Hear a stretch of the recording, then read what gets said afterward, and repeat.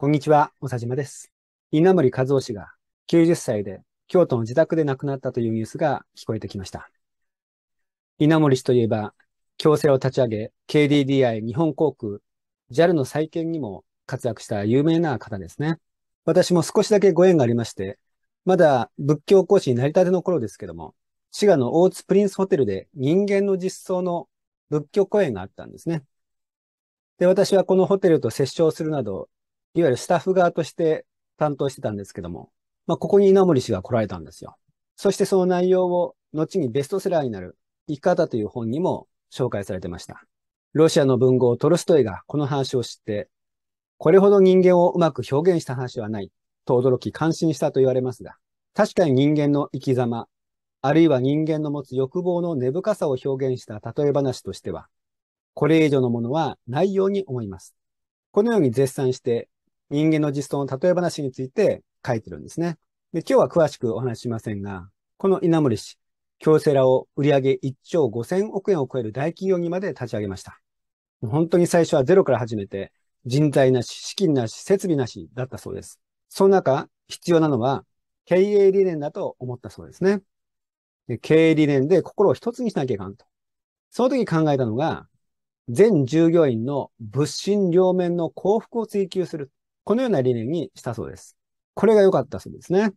後に、この全従業員の物心両面の幸福を追求するという経営理念は、経営者自身の私利私欲を超えた従業員のためというリダの心に基づいていたからこそ、多くの社員の共感を得て、社員の総力を結集することができたのです。成功の秘訣は、利他の精神を基本に置いた経営理念だったと、こう語っているんです。しかしね、それでもまだ足りないということで、後に人類、社会の進歩発展に貢献すること、この文言も加えてるんですね。より強い、そして広い利他の心と言えると思います。利他の心、正確には仏教で自利利他と言われます。利他、他人を幸せにするまんまが自利、自分が幸せになる。自分が幸せになるまんまが人も幸せとなる。これを自利利他と仏教で言いまして、大乗仏教の精神であると言われます。また、稲森さん、このようにも語っています。人が用いる最も崇高で美しい心。それは他者を思いやる優しい心。時に自らを犠牲にしても、他のために尽くそうと願う心です。そんな心のありようを仏教の言葉で利他と言います。利他を動機として始めた行為は、そうでないものより成功する確率が高く、時に予想をはるかに超えた目覚ましい成果を生み出してくれます。こう語っています。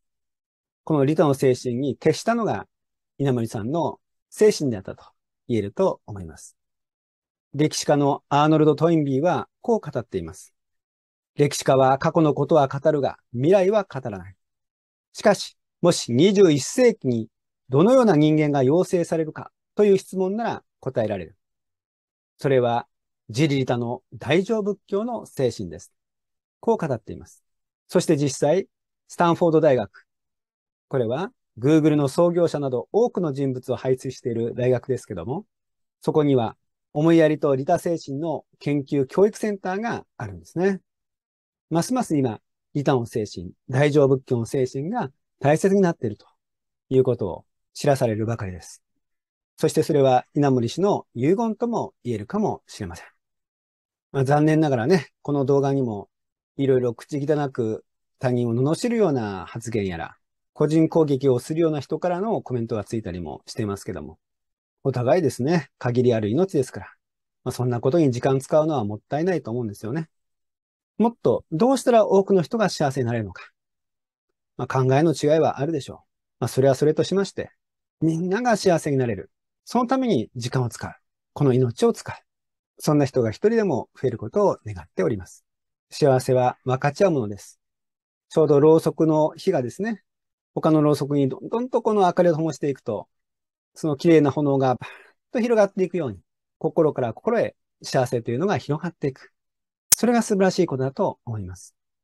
他のろうそくに火を灯したからといって、火が減ることがないように、幸せというものも分かち合って減るもんじゃないんですね。いや、分かち合えば分かち合うほど幸せは大きくなり、深くなり、広がっていくものなんです。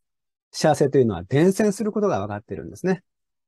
ですから小さいことにね、過剰に反応したり、変にこだわったりせずに、もっともっと大きな心で、優しい心で幸せをお互い広げていければなと思っています。